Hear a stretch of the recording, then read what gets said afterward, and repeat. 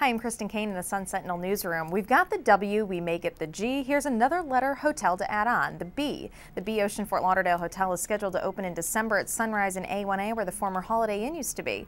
It's been gutted and renovated and will boast a high-tech and chic 240-room hotel. Rates in the winter will start at 189 in the summer 129. Some analysts say this could be a sign that the worst of the tourism slump may be over. To read more about the B, go to sunsentinel.com/sfl.